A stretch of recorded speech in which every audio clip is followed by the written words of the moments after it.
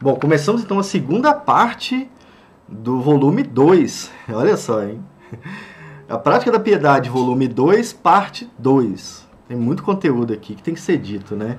Você gostou do primeiro? Eu gostei muito do primeiro. Eu, eu particularmente, gostei muito de escrever, de ler isso aqui. Enquanto eu lia, vou conversar para vocês. Enquanto eu lia, eu, eu quase chorei em alguns momentos.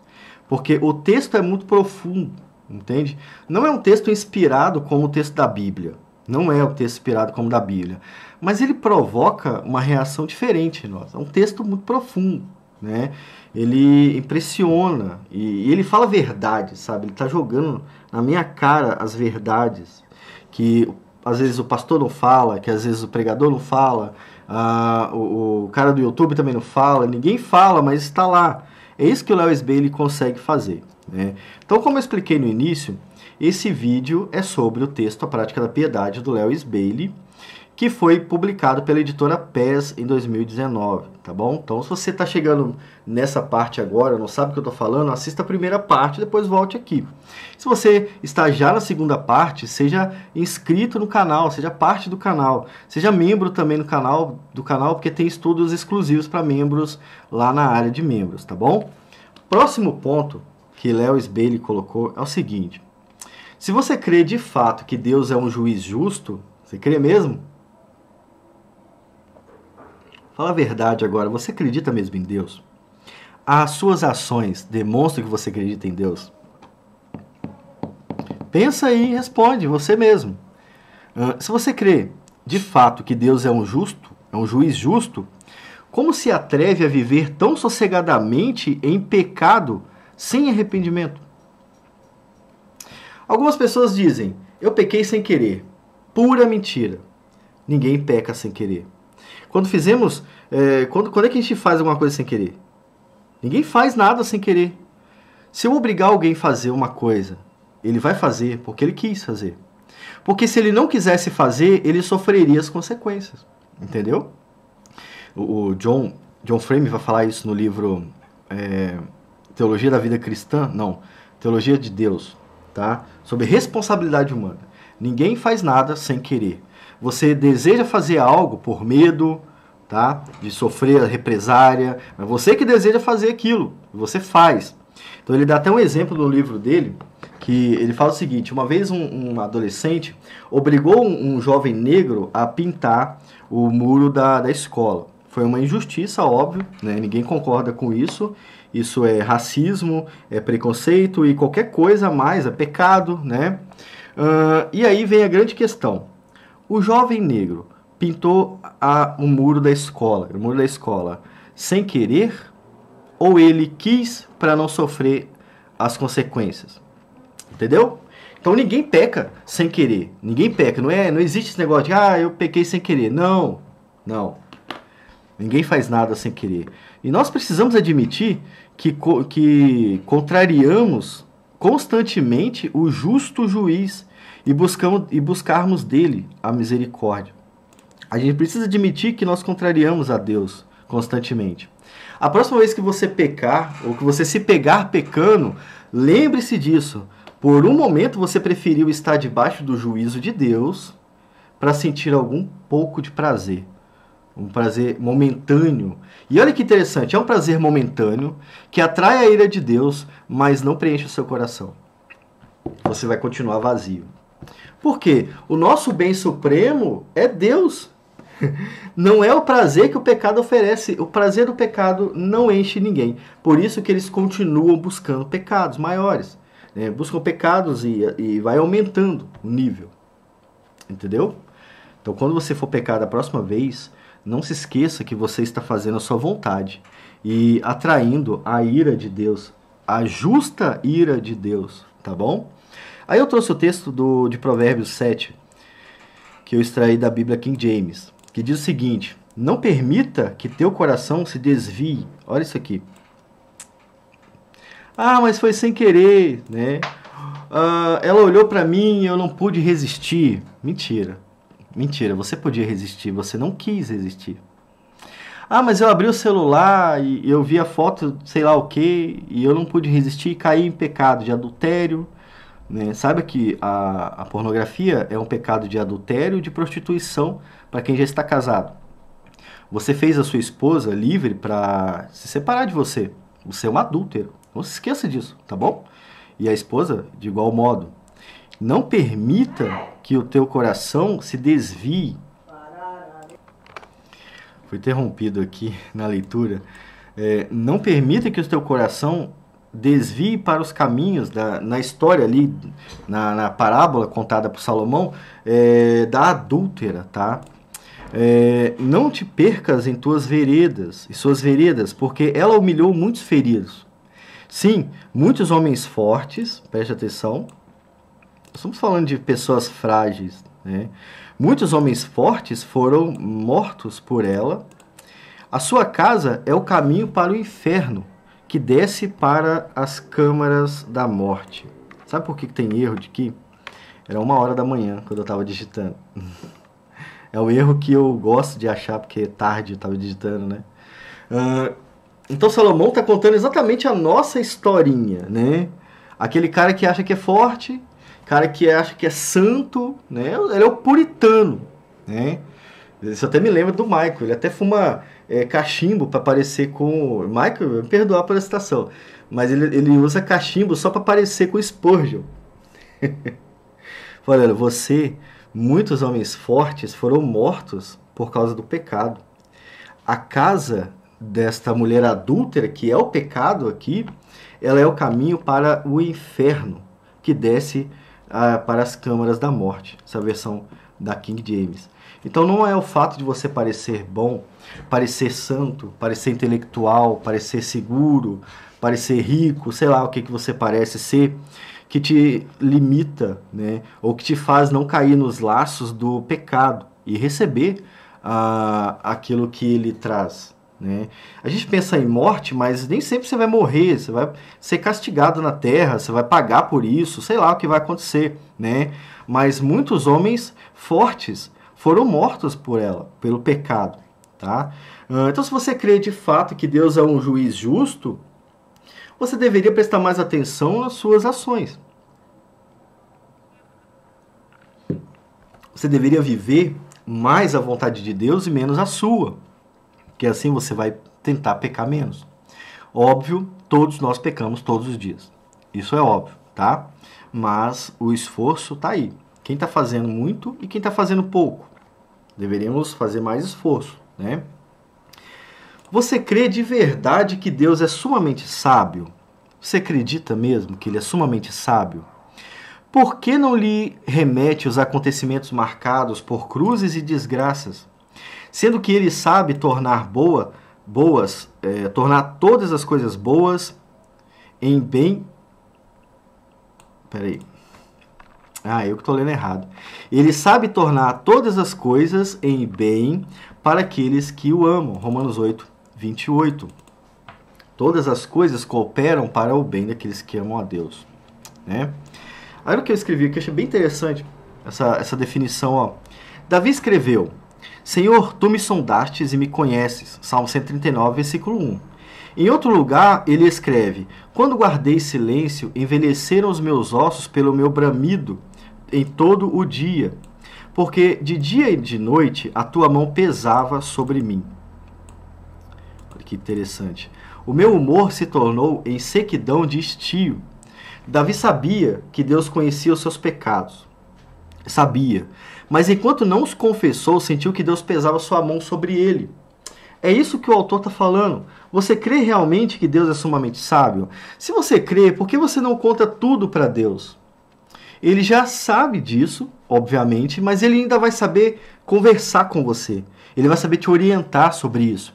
Então eu, eu coloquei esse texto especialmente para um inscrito no canal, um membro lá do, da, do, do, nosso grupo do WhatsApp, né? Que ele falou que ele se sente muito culpado, né? Pelas coisas que ele faz, fez no passado. E é aqui que se aplica. Se você acredita que Deus é sumamente sábio, conte para ele todas as coisas. Coloque tudo para Deus. Olha, Senhor, eu passei por isso, eu fiz isso, eu desejei isso, eu pensei isso, eu combati isso, né? Eu procurei isso. E, e Davi sabia que Deus conhecia seus pecados. Mas enquanto não os confessou, sentiu que Deus estava pesando sobre ele a sua mão. Constantemente a nossa alma está aflita pelos problemas e pecados cotidiano, cotidianos. Às vezes lembramos, levamos essas coisas a pessoas mundanas e pedimos a sua opinião. Por que não fazemos isso com Deus? Preste atenção no que eu estou falando. Às vezes você leva os seus problemas para pessoas condenadas ao inferno, mas não leva para Deus. Que opinião alguém do mundo vai te dar? Que ideia ele pode trazer para você que Deus não tenha trazido na Bíblia? Entende? É como a gente leu no review do Espojo, né? É muito triste quando o ímpio corrige o, o salvo. É muito triste quando isso acontece, né? Não deveria ser assim. Agora, se você tem a capacidade de levar os seus problemas para alguém que não sabe te aconselhar, por que, que você não leva para Deus se você acredita que Ele é sumamente sábio? Entende? Não estou dizendo para você não pedir conselho de pessoas que sabem dar conselhos, tá? Estou dizendo que você deve levar estas coisas a Deus. Conversar com Deus também. Você não acredita que Deus ouve? Então conversa com Ele. Que crença é essa? Que você acredita que Deus ouve, mas você não fala com Ele. Fala com Ele. Nas palavras de Davi, Tu és, aqui é Deus, Tu és o lugar em que me escondo. Tu me preservas da angústia. Olha Davi falando. Tu me cinges de alegres cantos de livramentos. Salmo 32 também, que foi citado aqui em cima, só que no versículo 7. Você crê que ele é infinitamente sábio capaz de consolar? Você acredita em Deus nesse, nesse sentido? Ore a Ele. Apresente a Deus todas as suas lágrimas. Se você estiver chorando, chore falando com Deus. Já aconteceu comigo. E quem dera acontecesse de novo, né? Porque é um momento muito bom. É um momento de libertação. Esta é a verdadeira libertação. Quando você chora aos pés do seu libertador e ele te consola. Isso é libertação. A libertação que muitas igrejas pregam é só mentira, sabe? É um monte de história é, fictícia que não funciona, nem na vida real, na prática não funciona. Esta é a verdadeira libertação. Fale para Deus tudo que te aflige. Conta para ele, deixa ele ouvir. Se você chorar, chora. Se não chorar, não chora. Não tem problema, né? Conte para ele todos os seus pecados e clame a ele socorro. Se você acredita nele, ele vai te ouvir. E ele vai te socorrer. É, como ele vai fazer isso, eu não sei. Tá? Mas ele vai. Agora, acho que é o último ponto não. Parece que é pequeno, mas é muito grande, né? Temos um, dois, dois pontos. Os últimos dois pontos do nosso estudo. Se você está persuadido de que Deus é verdadeiro, por que duvida das suas promessas? Esse é um ponto que atrai muitos de vocês ao canal. A questão da preservação dos santos. É, é isso que está falando aqui. É desse ponto que ele está tratando. Se você está persuadido que Deus é verdadeiro, ou seja, Deus ele tudo que ele fala é a verdade. A Bíblia, por exemplo, é a verdade de Deus. Ela não é a verdade de quem escreveu, é a verdade de Deus. Uh, tudo que Deus promete é verdadeiro, seja para o bem ou para a justiça. Tá? Se você acredita que ele é verdadeiro, por que você duvida das suas promessas? Você realmente acredita que Deus poderia dizer alguma coisa e fazer outra? Acha que aquele que é misericordioso de geração em geração não vai ser misericordioso com aqueles que creem e buscam ele hoje? Isso seria um Deus diferente, entende? Muitos homens duvidam da palavra de Deus. Esse é um dos sinais da incredulidade. Você crê mesmo que Deus é capaz de cumprir o que ele prometeu apenas porque ele disse que faria? Olha, Deus disse que faria isso e é por isso que ele vai fazer. Se Deus disse, eu vou te salvar, quem é que pode dizer o que ele vai fazer? Ele já disse o que ele vai fazer. Se ele disse, eu vou julgar, quem pode impedir Deus de fazer o que ele disse? Ele é verdadeiro, o que ele fala, ele vai fazer. Não duvide de Deus. Por isso é que, porque isso é a mesma coisa que zombar de Deus. Então muita gente vem ao canal e me pergunta, Devaí, a salvação se perde? É, não. Por que não se perde? Ah, porque Deus disse que não perderia. Porque ele disse que salvaria. É ele que está dizendo isso. Não tem a ver com Calvino, tem a ver com Deus. Ah, mas aí a pessoa pode fazer o que quiser. Né? Ela pode pecar do jeito que quiser. Peque do jeito que você quiser. Né? Até porque você está agindo como um condenado ao inferno e não o salvo. Estou falando do salvo. Salvo não perde a salvação. O condenado ao inferno nunca teve salvação. Então, se você deseja pecar, peque. É, esse é o seu caminho, peque até morrer, seja condenado ao inferno. Agora, a pessoa que crê em Deus, ela não vai pecar. Por que não vai pecar? Porque o Espírito Santo atua nessa pessoa. Ele vai cumprir o que ele prometeu. Entende? Porque ele disse que ia fazer. É esse o motivo. Ele não vai cumprir o que ele prometeu porque você foi bom o suficiente. Né? Porque você não é bom o suficiente. Ele não vai cumprir o que, o que prometeu porque você mudou de ideia. Ah, agora eu mudei de ideia. Né? Então, Deus não vai fazer isso. Nada disso. Preste atenção nas coisas. Deus não muda porque você muda. Ele faz aquilo que ele disse que ia fazer. Tá bom? Então, se você está persuadido de que Deus é verdadeiro, por que, que você ainda duvida das suas promessas? Preste atenção e mude. Né? Próximo ponto. É, esse é o vídeo mais diferente que eu já gravei. É o segundo já. 16 minutos. Já curtiu o vídeo? Gosta do conteúdo? Não se esqueça de curtir não se esqueça de se inscrever. Você sabia que esse termo é, santidade, piedade é um dos menos pesquisados no YouTube? Isso significa que quase nenhum crente pesquisa. Eu vi uma, uma análise de palavras e a palavra piedade ela é fraquíssima. Quase ninguém procura. Santidade é fraquíssimo. Santidade, quando pesquisa, é uma música, não é nem o desejo de ser santo, é uma música apenas. Né? Então você poderia compartilhar o vídeo também. Porque, embora você esteja vendo, o YouTube não vai mostrar para muitas pessoas. Você é um dos poucos, tá? Olha o número aqui de acesso. É um dos poucos que viram isso aqui. Outras pessoas poderiam ser beneficiadas pelo estudo se você compartilhasse, por exemplo. Além de ajudar o canal, né? Não posso deixar de falar isso também. Se você crê que Deus é a beleza e a perfeição por excelência, por que você não faz somente dele o objeto principal de todos os seus afetos e desejos? Se você acredita que Deus é o que há de beleza, por que você busca isso no mundo e não em Deus? Hum? Somos constantemente levados pela beleza das coisas, né? Então, é, a gente procura o que é belo e o que é bom, isso gera até um preconceito com os meninos que são feios, né? E as meninas que são feias. É sério, eles sofrem também por causa disso. Né? E, e quem é que constrói o padrão de beleza? É o mundo. É o mundo. Então isso significa que vocês usam o padrão de, be de beleza mundano é, e depois falam que são cristãos. Nós fazemos isso. Eu não posso ser hipócrita de falar que nunca fiz isso. Eu faço isso, né? O que é belo para mim, às vezes, é o que o mundo diz que é belo, e não o que, o que é de fato belo. Né? Porque se fôssemos considerar que Deus é a beleza é, e a perfeição por excelência, todas as pessoas seriam iguais. Entende? Quem é mais bonito? Todos são iguais. Se você acha feio, é feio, bonito, bonito. Todos são idênticos em relação a isso. Por quê? Porque o, o único padrão de beleza é Deus. Olha, Deus é, é, é invisível. Qual é a aparência de Deus? É invisível. Então, e ele é o padrão de beleza. Ele é toda beleza, toda perfeição por excelência. Entende?